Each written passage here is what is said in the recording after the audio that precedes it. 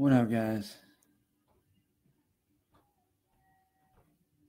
That's me. Um, and I just kind of wanted to come on here and just like to you know not only vent but to talk about some stuff that I've really been trying to keep more or less under wraps, but this is something that I just I feel needs to be put out there.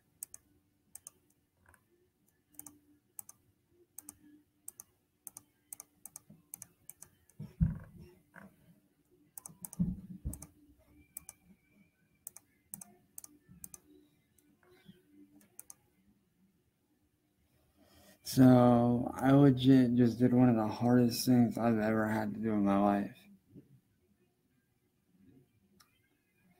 Which is to block my ex Abby, who I very much had feelings for. If you guys don't know, me and her were together last year.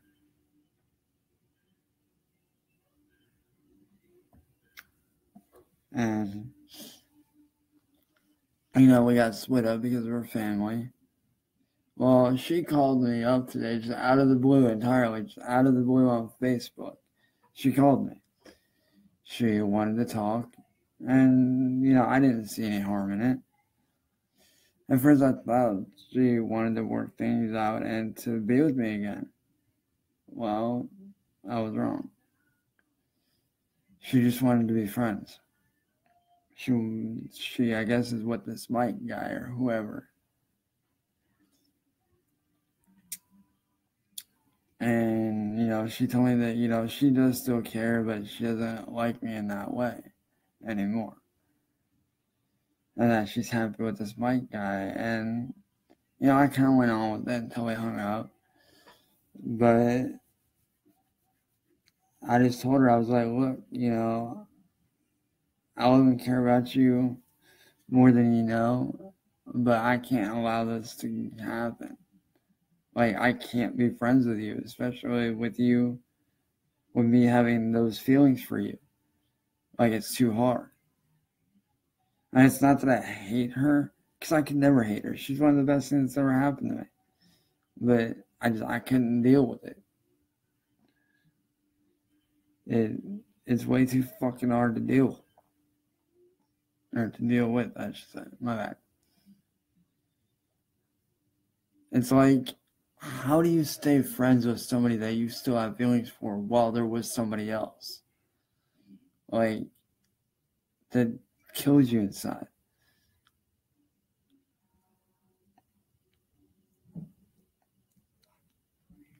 Like, and to be honest, at first I didn't want to do it. I really didn't, but then I was like, you know, if I don't do it now, then the pain will just get worse and worse and worse, and I'll probably end up snapping and saying something I'll regret to her. So I took and, you know, I did it in a civil way. I told her, I was like, look, we can't be friends. And it's not because I hate you, because I don't hate you, but it's because of the fact that you know, I have way too many feelings for you, and it hurts me to see you with this other guy. It hurts me way too much seeing that. And she was all like, well, you know, you'll find somebody else and da da da and this and that. And it's like, yeah, you don't know the situation very well at this point.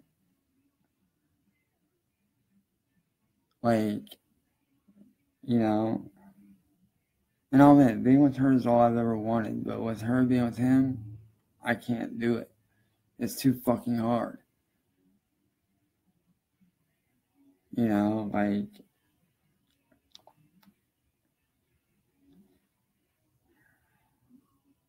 You know, it's, it's way too hard to do. Like, how do you stay friends with somebody that you have feelings for while they're with somebody else?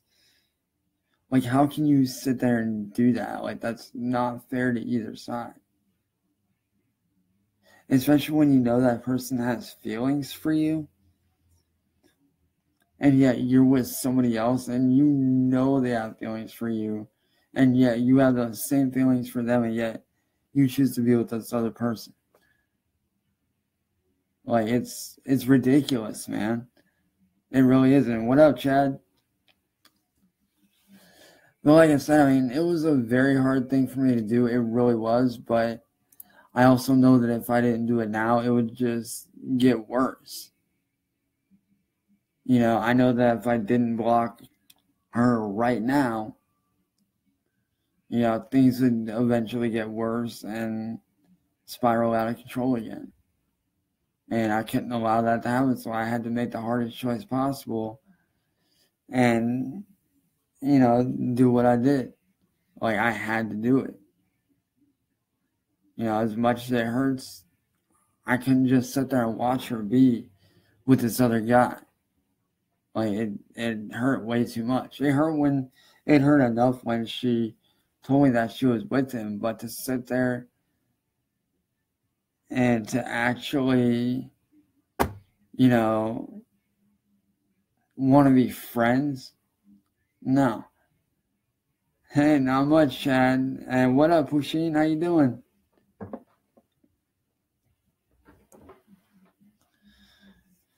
But like, you know, it just it like it confuses me at how you could want somebody to be friends when you're with somebody else, knowing that that person has feelings for you and knowing that deep down you have feelings for them. Like, why ignore those feelings and be with that other person? And why not act on those feelings and be with the person that you know you truly care about? Like it, it's stupid. So, you know, I did what I had to do and I blocked her after I sent her a message. It wasn't a hateful message. It was just a message saying, hey, you know,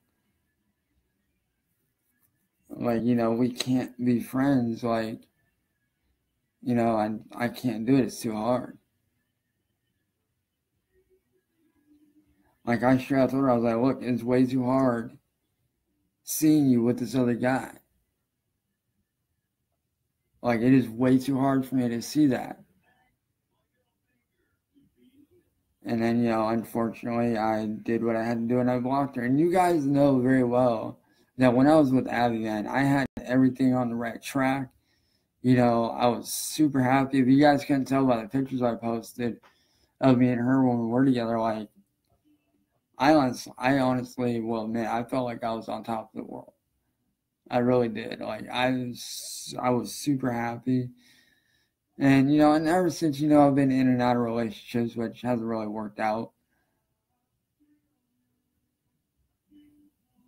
Like you know, and the reason why they haven't worked out is because people just don't get my situation, and that I can't work due to the fact that you know not only obviously my record but also because the the main fact, the big major factor is that you know I have to obviously, you know, stay here with my mom at home and I'll take care of her because you know she can't do much since she got hit by a car, you know, last year and it's affected her very badly ever since.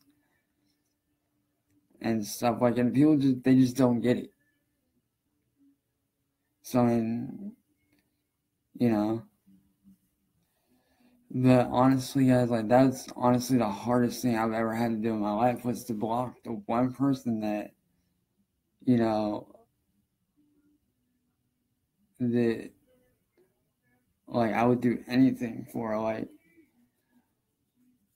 like this is a girl who, if I could give her the world in the palm of my hand, I would do it without question. Like if she were to jump off a bridge or off a cliff, I'd be right there beside her, holding her hand, jumping.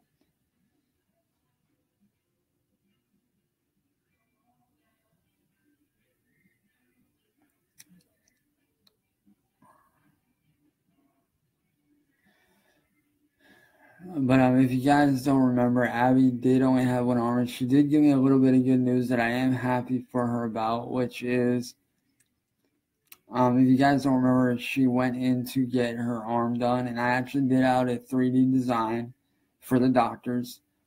They liked it, and believe it or not, they actually showed it to the right company.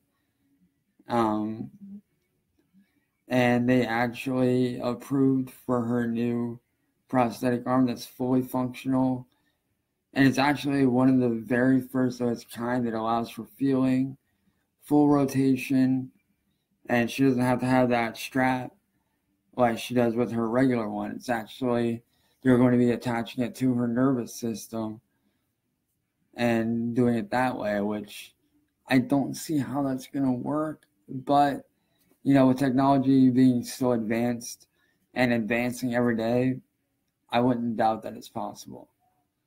Because people are always doing amazing things with technology to help people every day. So to see this, this is going to be very interesting to see. Um, and I am glad that they actually approved her for that. And do I want any pay out of my design? No. I'm just happy to have helped.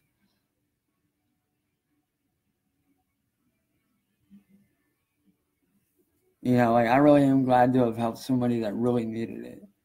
Cause you know, she's fought through a lot and you know, has gone through so much that, you know, doing a design for her to have a new prosthetic arm so that she can be that much more normal again, you know, it's the least I can do.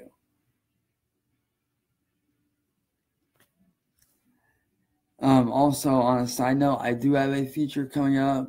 If you guys don't know what I'm talking about, go and watch the live stream before this one. You guys will see what I'm talking about. But uh, with that being said, I love you guys, and I'll see y'all later.